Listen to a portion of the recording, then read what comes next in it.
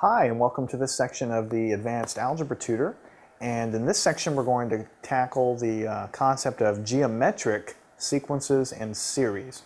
Now, just to recap, in the last section, we covered arithmetic sequences and series, and those are just sequences that have a constant amount between each element of the sequence. So you look at the difference between the elements, uh, the element and the one right before it, and you should have a constant amount between them, and so it's a special kind of sequence, a special kind of series, okay? And, uh, and in this section, we're going to jump to geometric sequences and geometric series, which are also a little bit special, but in a different way. So instead of the terms being equally spaced by a constant difference, uh, as, in a, in, as in an uh, arithmetic series or an arithmetic sequence, the geometric sequence and series is going to have terms that differ by a constant ratio.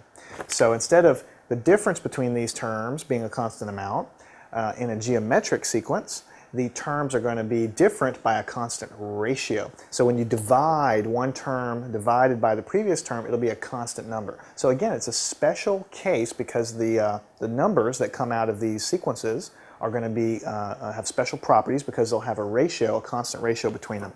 So let's just get started and, and kind of write this down and work on up to it here.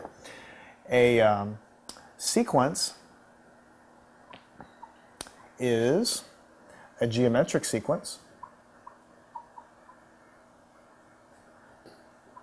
Okay, I'm going to underline that because that's the main point here.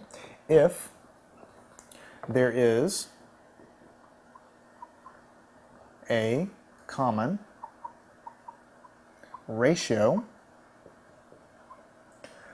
uh, which I'll talk about in a minute, between, I'm going to call it a common ratio denoted R, between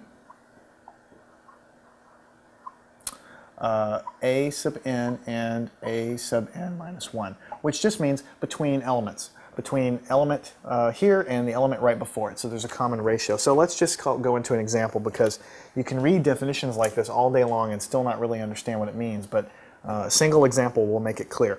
If I gave you the sequence 1, comma, 3, comma, 9, comma, 27, comma, dot, dot, dot, it goes on and on, okay? Then I asked you, okay, obviously these do not differ by a constant number, just like the, the arithmetic guys, okay? But let's look at the ratio between this. What is 3 divided by 1? It's equal to 3, okay? So that there, we say the ratio between them is 3. Now let's look at this one. What is 9 divided by 3? Well, that's also equal to 3, so we say the ratio between these is equal to 3. And let's look at this. 27 divided by 9, that's also equal to 3. So you see in each case, the ratio between one element and the one before it is equal to 3. So it's called a geometric sequence. It's called a geometric sequence. So we have a common ratio, R is what we call it, and that's equal to 3 in this case. Okay?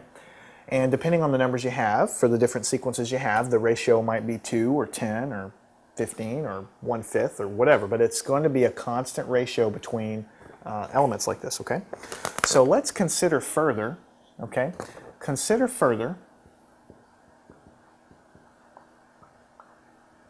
okay, because we know that the ratio is now equal to 3, and because we know that we're calling this ratio R, okay, for the same sequence, 1, 3, 9, 27, dot, dot, dot, okay,